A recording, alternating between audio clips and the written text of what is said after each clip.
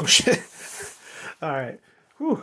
I was gonna drop it in for the intro, but I didn't want to keep slamming the box down. Um, yo, what is up, my fellow collectors? This is Hisoka. Welcome back to the channel. Thank you guys for joining in today.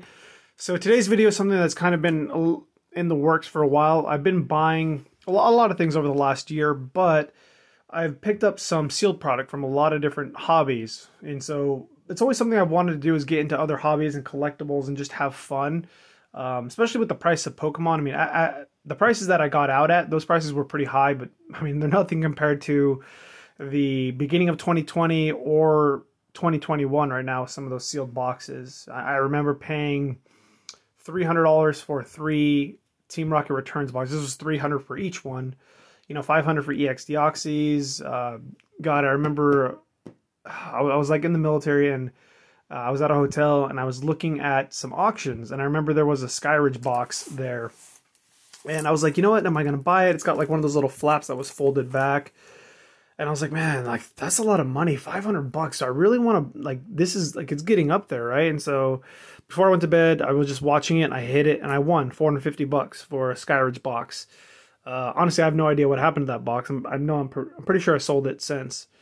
But you know, back then 500 bucks was like, Jesus, what am I buying? So, yeah, prices, I mean, uh, no, I don't think anybody could have fathomed what prices are now. So, yeah, it's, it's, collecting sealed nowadays is difficult. And, you know, with going for graded cards and stuff like that, it's, it's kind of impossible to do both. So I thought it'd be fun to buy some booster packs and booster boxes from other hobbies you know things that I've enjoyed as a kid, things that I sometimes occasionally watch as an anime or played for video games.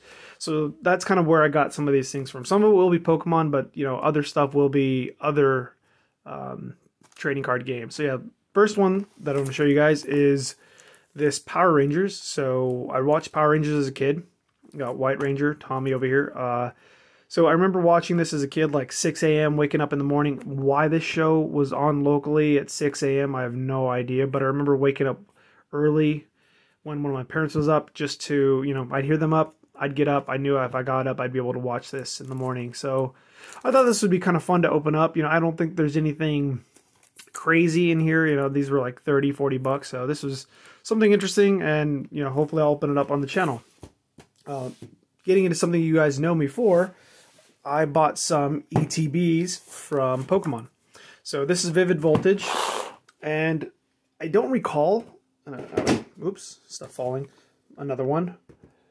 So I don't actually know if I open up any ETBs back in the day. I think last year I think I bought some Burning Shadows, so Hidden Fates. And what goes better than one Hidden Fates is Numero Dos. All right. And so yeah, I I don't recall actually opening these things or even really caring much about them, but the value has gone up, and I think, you know, since I used to get things from Dave and Adam Card, Dave and Adam's Card World, I was always more worried about the the singles and getting the cards, and it was always more cost efficient to go with the boxes. So I just kind of ignored the ETBs for the longest time. So this is just something I think I'm going to start collecting and just doing a few ETBs. It's kind of fun for a you know a backdrop or having some fun like that, and maybe I'll open them up. Maybe I'll use them as trade. Who knows? But I think it's kind of fun. I like the artwork on it, so that's kind of what I've done there. So the next thing, this is going to go, the rest of this stuff will be non-Pokemon related. So none, none of this is crazy, but if you want to find out about other hobbies, I definitely encourage you to stick around. There's plenty of interesting hobbies that are out there. And a lot of us know, you know, we're into one hobby, we're pretty familiar with other stuff, and you might have watched it as a kid. So for me, this is my favorite anime of all time. This was around when Dragon Ball Z was around. And so I picked these up because these are something that I was actually looking towards. This and Final Fantasy were things that I was looking at kind of towards the tail end of me selling my collection. You know, I wasn't sure what to do. I wanted something new. I love Yu Yu Hakusho, my favorite anime of all time. It's also the same author, Yoshihiro Togashi, the same person that did Hunter x Hunter, you know, where I get my name Hisoka from which is absolutely incredible story. The story is better than Yu Yu Hakusho, but I just it's nostalgic for me. Yu Yu Hakusho is what I watch. You know, I, I watch Dragon Ball, but I never got into Dragon Ball quite like I did with Yu Yu Hakusho. Just the story and the elements were just so much better than Dragon Ball.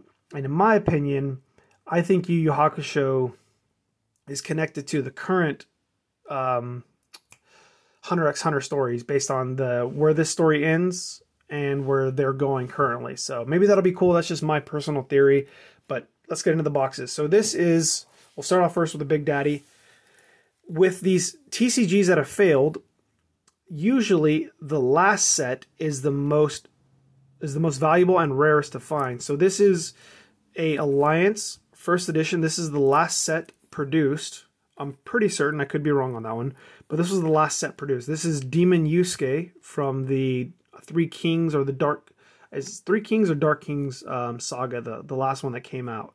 So it's him in his Mazoku form with his tattoos, his hair. It's a pretty beat up box. These boxes are kind of easily damaged. Yusuke right there with a, I feel like that's a Spirit Wave orb right there. The back, Raizen, got the Three Kings. There we go, right there. Raizen. So yeah, this is this is a very rare box. You know, this cost me probably about a thousand dollars, maybe a few hundred dollars more if it's in a, a better condition. But honestly, this is something that you don't see come up very often. I was lucky to get it from a Facebook group. Uh, the second box I picked up was a Betrayal box. This is first edition as well from a Facebook group as well. Same one. Uh, if you if you're interested in it, let me know on Instagram and I'll try to connect you with the group. But this box cost me about 340 bucks. It is Yoko Kurama, and I'm not sure of the order of it compared to the set. I just thought the box looked really stunning. You got Yomi over here. Oh yeah, Yomi's in there. Yoko Kurama, Demon Kurama. I love the artwork on the front. So I picked that one up. This one was something I picked up. It is a dark tournament with Young Genkai on there, first edition as well. This cost me about uh, $200 or I think $180, but yeah, I just it was great condition, a little loose, but it's really great condition for you got Bui right there, Hiei, nothing else think on there. But yeah, so this is this is one of the boxes there. The Dark Tournament, really good saga. You got a great villain with Toguro, and you know obviously her and Toguro have a past. Kind of an interesting story uh, with Yu Yu Hakusho where the villains you kind of start to empathize with the villains. Like the characters are more complex, and so for me, I've just I really liked that the story wasn't just I'm some evil bad guy. I'm Frieza. I want to take over the universe and yeah, I have to fight you. so it, stories are a lot different. I'll probably get some hate from the Dragon Ball folks, but yeah, just my favorite anime of all time. I want to knock out the boxes in first edition and possibly unlimited. Other than that, I think I'm going to go for the the the Kings. They have these really cool um, cards in there. Uh, this video is probably going to be long and, and rambling, so hopefully you guys learned something new. But this TCG has, I believe, in this set and this set, and maybe one more. They have these uh, king cards. They're kind of like the legends from Pokemon, where you have the top and bottom, except you have, uh, you know, uh, it's basically four cards that make up the kings. One of the kings. You got Yusuke, uh, the Raver. You got Raizen, Yomi, Mukuro.